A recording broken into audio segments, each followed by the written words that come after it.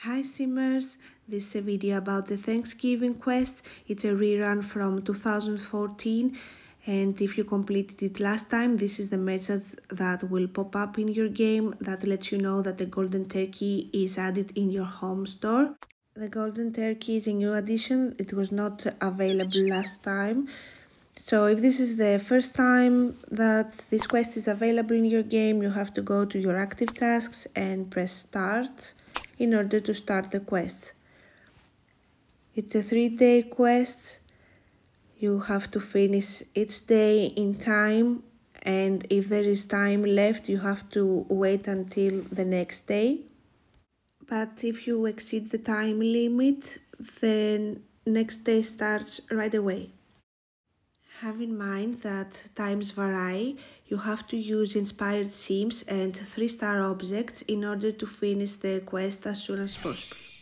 So if you made it this far, congratulations, you got the turkeys. These are the prices. Quests are pretty easy to complete and uh, it's nice to have animals in houses the only bad thing is that turkeys are pretty loud and playing with the sound on in a house with turkeys might be a little bit disturbing but other than that I just hope for more animals.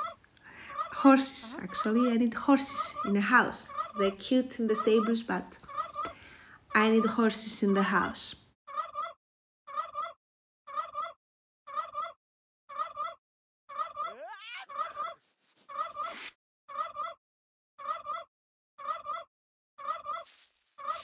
Sims can interact with turkeys. You can feed the turkey for 45 seconds or scratch behind neck for 15 minutes.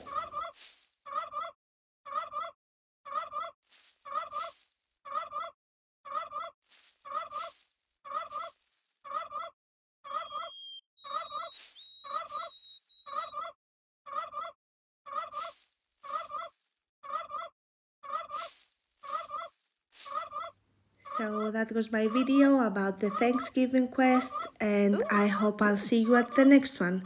Until then, happy simming guys. Bye.